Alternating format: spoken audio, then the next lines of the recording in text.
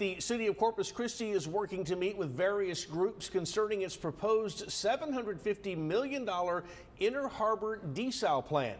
They've even launched a redesigned website to help with the effort. Officials today sat down with 3 News and other members of the media for a Q&A session. Our Michael Gibson was there and has some of those answers for us tonight on those big talks.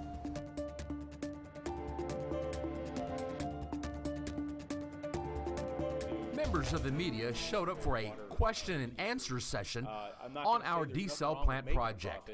Drew Molly, the man who runs Corpus Christi Water, was answering some of our questions, and so was Jason Cocklin, the project manager, who says that even if we built two desal plants along the bay, there would be minimal environmental impact. We're talking about 0.6 parts per thousand um, of an impact on the bay. So, and that all goes back to 17 parts per thousand is the natural range. One of the questions we had was whether there were any other cities which had built a similar plant, and if so, what environmental impact have they seen?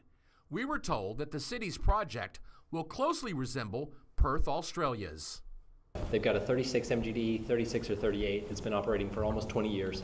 It is the best longitudinal study on desal discharge. They're using the same discharge technology that we're planning and they're going to double their plant capacity because over 20 years they've seen no impacts. And the sea life near that facility has reportedly thrived. If you go to their website, they've got some really cool pictures where they've got the jet diffuser and some of the most sensitive species that are in Cockburn Sound have created a habitat around the diffuser seahorses, starfish, all sorts of fish. More of these meetings with the media and other groups are planned in the future.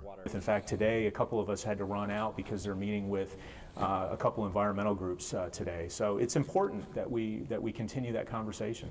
The city is also hoping people will check out its newly redesigned desal website, complete with an artist rendering of what the plant will look like. So there's uh, videos on there, there's, there's pictures, there's renderings. Right now, the cost of our desal Inner Harbor plant site is right around $750 million. We learned today the impact on water bills could mean that by 2028, you might be paying up to nine more dollars on your monthly bill. Michael Gibson, 3 News.